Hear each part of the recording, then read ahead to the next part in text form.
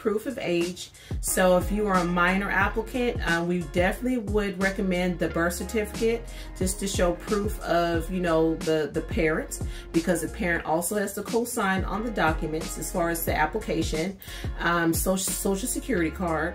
Um, we would also, we prefer and recommend um, high school transcripts or the last transcripts of the school they attended if it's not a high school.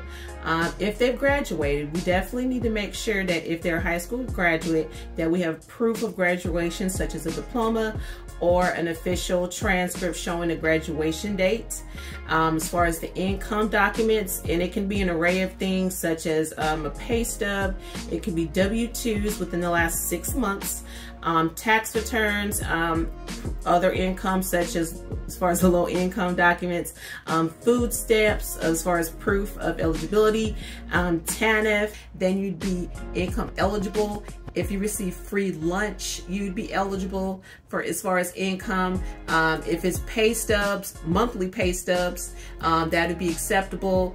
Um, if you are a foster child within the last six months, and if you can show documentation of that, you can have that. So there is a, an array of um, avenues when it comes to your documentation, especially for income. And don't worry, please don't be discouraged if you don't have any of those items. We definitely try to work with our applicants to make sure that you have what you need because we want to be invested in the process with you from beginning to end.